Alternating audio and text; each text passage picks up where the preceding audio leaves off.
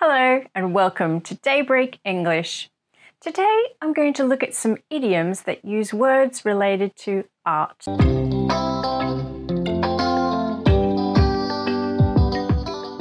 Hi, I'm Dawn. How are you doing today? Anyone who knows me well knows that I really love art. Painting, drawing, sculpture, anything to do with art. So, today I'm going to talk about some idioms that contain words related to art. Here they are seven idioms and expressions that I think might be useful for you. The first one is to draw a line with the indefinite article a. To draw a line between one thing and something else is to show that those two things are separate. It's like creating an invisible boundary. People often use this when they talk about two different parts of their lives. Example, you need to draw a line between work and home. Turn your work phone off in the evening. It is important to draw a line between management and employees. A similar expression with a slightly different meaning is draw the line with a the. This is also about creating an invisible boundary. But this time, it is about not going past a certain point. You will do something up to a certain point, but no further. Or you will only tolerate something to a certain point. For example, I don't mind a little mess, but I draw the line at muddy boots in the house. I will tolerate some mess, but not muddy boots. That's just too much. Another example. I don't mind your brother coming to stay, but I draw the line at him moving in. Next, we have back to the drawing board.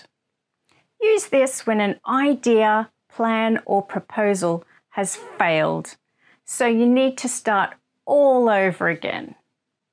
The drawing board refers to the place where an architect begins drawing up the house plans, so it's the place where it all starts. Going back to the drawing board can be pretty annoying, especially when you've put a lot of work into something only to have to start again. We're not getting anywhere with this proposal. Why don't we just go back to the drawing board? But it can be a good thing if you've become a bit stuck on something. It can be quite freeing to throw everything out and start again. It's like having a blank canvas. Which leads me to the next expression a blank canvas. It's something with no content. You can do whatever you want with it. Anything is possible. Like when an artist begins a painting, they start with a blank canvas. A child's mind is a blank canvas. Let me tell you something. I really love those TV shows about people buying houses. You know the type of show? That's literally all they do. Look around houses and decide if they want to buy them. So addictive.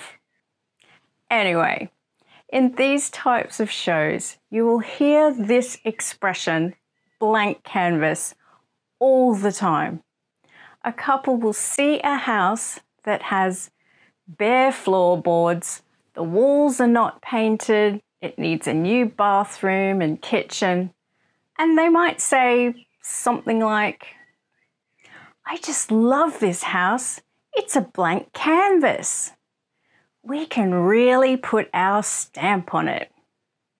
Ooh, that neatly brings us to the next expression to put your stamp on something. This is when you take something that already exists and add your own details to it so that your personality shows. You make your mark on it. If you have children, Maybe you've helped them to cut a pattern into a potato, dipped it in paint, and stamped out a picture with it. A stamp makes a mark on something, just like in this expression. Here are some examples. Although the director didn't write the play, he really put his stamp on it. The new head teacher wants to put her own stamp on the school and has already started making changes. Artistic license. This is what we call it when facts or details are left out or changed to suit the artist or storyteller. They break the rules in some way because, well, it's their work, so they can. A fantastic example of this is the movie musical The Greatest Showman, which is based on the life of P.T. Barnum. Now, the writers really used artistic license on this movie. They left out a lot of details, they made events happen in a much shorter period of time, they invented characters, and they changed an awful lot about the story. But oh my goodness, the end result was brilliant and so entertaining the writers are completely forgiven for taking artistic license. Down to a fine art. We say this when a person can do something exceptionally well or quickly, usually because they have done it so many times before. They've practiced it over and over. They've almost made it into a work of art. Those bakers have pretzel making down to a fine art. Have you seen them? They just, it's all done. Or maybe someone just thinks they're really good at something.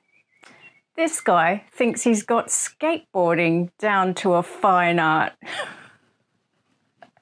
he hasn't. Okay, so how about you practice some of these expressions in your own sentences? Write them in the comments section below. Come on, be brave. Thanks so much for watching. Wherever you are, have a good one. Catch you later. Bye. Thanks for watching. If you found this video helpful, please leave a like. Remember to subscribe and click on the notification bell. Let me know in the comments what kinds of videos you'd like to see in the future. See you again soon.